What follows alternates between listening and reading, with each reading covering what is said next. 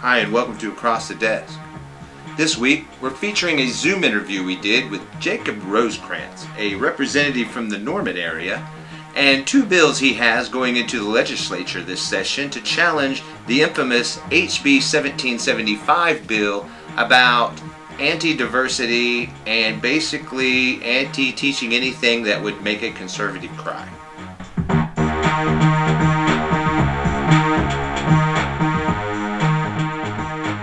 Hi, Jacob. Yeah. Jacob Rosecrants. You are representing which what what district do you represent first? Let's start there. Sure. It's House District uh, 46. And what that entails is the south part of Norman and the west part of Norman, Oklahoma. Okay. And you are a former history teacher, or are you a current one, or you, you're still accredited? Uh, I am a former history teacher. I do not, I let my uh, um, certification expired just because I've been a state rep for so long. And you can't Mhm. have two state jobs. So I did have to Yeah. quit my job to be able to take you can't job. have two state jobs. That's an interesting question. So Ryan Walters, who is also the education secretary and is the superintendent, right? Is that two state jobs? I guess Or- that's legal though. Uh, I don't know how that looks. I don't know why, how that, it, it's not unprecedented. Apparently, um, Yeah, uh, Sandy Garrett did it too back in the day. really. So yeah, I had to do a little bit of looking on it before I just tr- tried to put everybody under the fire. I want to make sure Oh, I've got yeah. the facts. So Well, that's good Yeah, because you know so- a lot of people don't know that really, huh? So this isn't something that isn't unprecedented. It's not something that's usual, but it's not unprecedented. It has happened before and without any problems. correct. correct. Now Sandy Garrett was Sandy Garrett and Ryan Walters Yeah. is Ryan Walters. So the problem comes from the fact that this regime or whatever you want to call it, this this administration hasn't really been doing work in the light in the first place. So you would think that they would just bend over backwards to show transparency and not Yeah. do something like this, but it is legal and it's not unprecedented. So yeah, Okay, I let well, it go. It, that's it a- looks bad. Don't get me wrong, but yeah. Oh yeah, well that's a very interesting fact you put out there, and I think a lot of my viewers will appreciate that. So the thing is, you have one bill in there right now, House Bill 1031, to repeal House Bill 1775, and you have that right now. And and another thing you have, big news right here, you have a new bill that has been filed, and that is what is it 10 uh 1339 house bill 1339 and can you explain these two bills that you have put in to come into the legislature? Yeah, first of all, uh, let's talk about the bill to repeal seven House Bill 1775.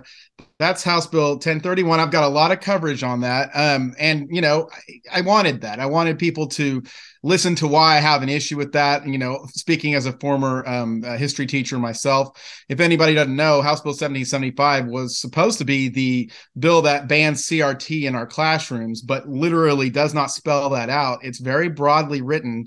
Uh, basically, it says if you make any student uncomfortable because of their race or sex, then you could basically go all the way up to losing um, not only your teacher's license but also accreditation for your school uh, for the district which is ridiculous. And so Yeah. um, also whenever you talk about what it's trying to stop well okay yeah nobody really wants to teach anything that's uncomfortable for uh, because of somebody's race or sex.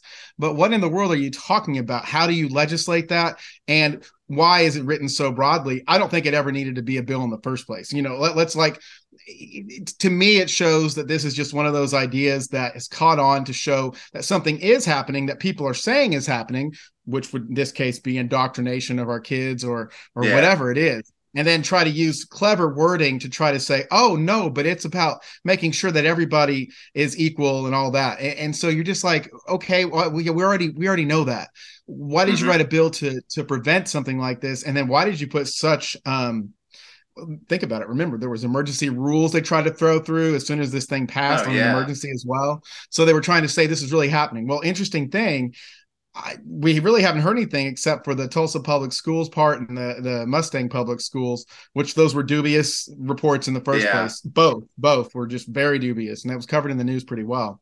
Mhm. But um, to me, it always said to me, this bill doesn't need to exist. And so I let it go for a last session. You know, I didn't really want to do anything with that. And yeah. so this session rolled around and, and I was just like, a repealer bill is not that hard to do. Let's go ahead and get it going, roll it, see what kind of uh, support we can get. Now, I'm not an idiot uh, repealing yeah. a bill that passed over, overwhelmingly on straight party lines. It's not going to happen this year. I mean, I'm going to keep trying. You know, maybe not like keep trying yeah. every year to try to repeal this, but I want people to know that's something I'm I'm desperately wanting to do. Um, and so then back behind that, I had already planned to write another bill having to do with House Bill 7075. Breaking news right here. Breaking right here. It's House Bill. Yeah, we kind of alluded to it. House Bill 1339. If I'm looking off mm-hmm. to the side, it's because I just filed it. And uh, so what this does, so again, I told you I didn't think I was going to be able to um, actually repeal House Bill 7075, perhaps yeah. through a vote of the people, but not in the legislature that already passed it back in 2021. So the conversations we're having are very key about that. That's good. But this bill, what this does, it provides in writing in the bill in House Bill 1775 itself the requirement for due process for any school employee who has been accused of House Bill 1775 violations. Yeah and any school district which has been accused of of any House Bill 7075 violations as well.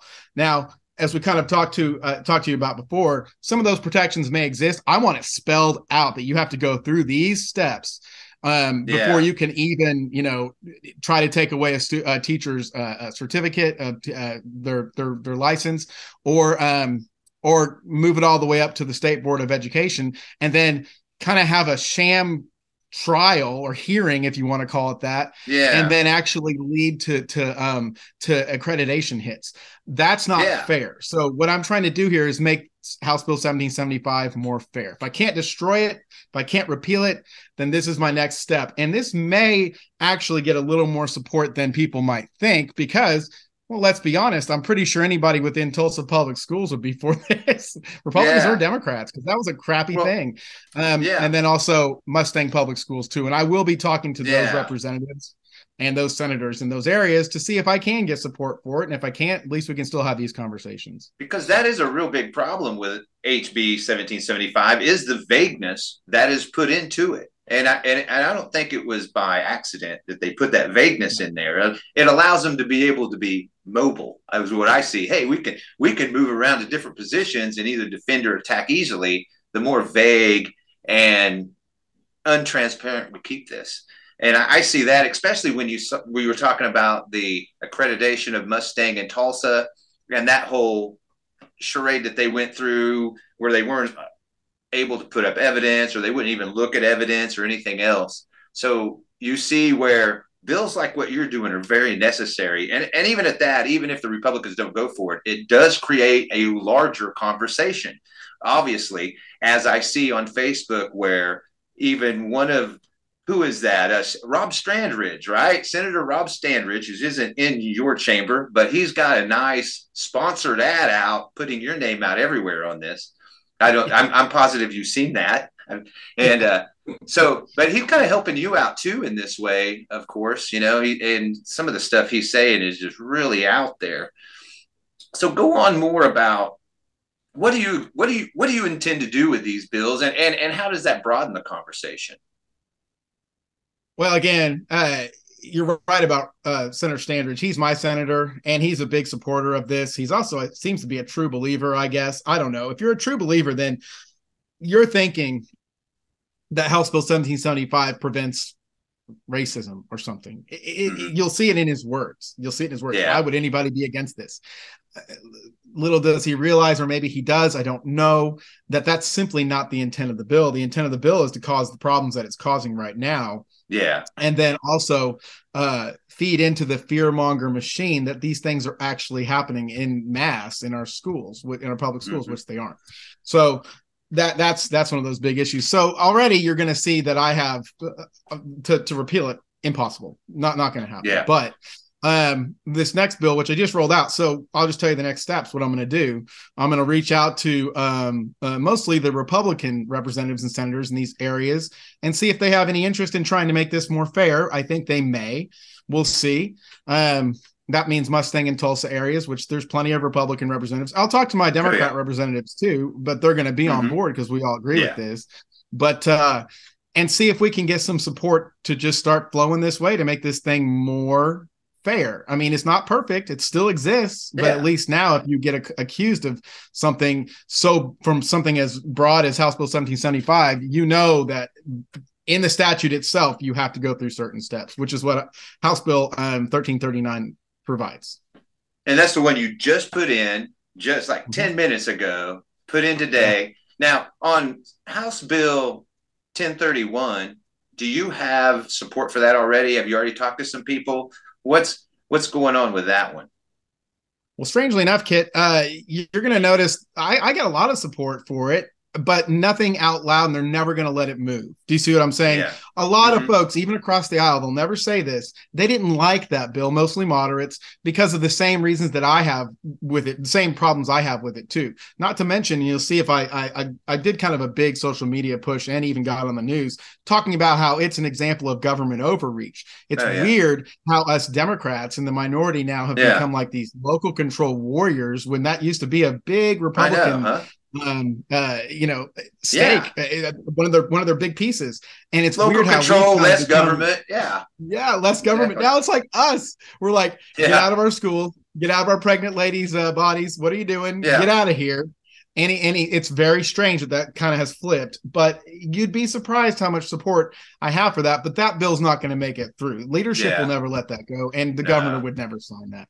Probably so make it out of committee i imagine but, yeah, but it, uh, even starting the conversations was important. That really is. I think i think when i saw that and then i see all the republicans losing their heads over it and then it's all in the news i'm like well that's the that, that that's the goal you know if it's not going to get passed or anything else it's at least to get it out there and start a conversation about it and get people thinking. So maybe we can do yeah and uh, mission accomplished on that honestly. Exactly. So good job jacob. that way i can go back Seriously. behind which i'm gonna as soon as we get off this show i'm gonna go ahead and make my post on my next bill house bill 1339 and see where what what that can do too. I have kind of a decent yeah. you know social media following and that helps mm-hmm. it does people don't yeah, understand how much that helps they're kind of echo chambers but that's okay yeah. too because then we get our supporters involved on something and we can get a little more support and then it can catch on uh, exactly. so that's kind of my next goal for this and i kind of follow a, a, a formula i've been doing this for a long long time um, and it's hard to get bills passed already as a member of the minority so you have to get yeah. major major uh,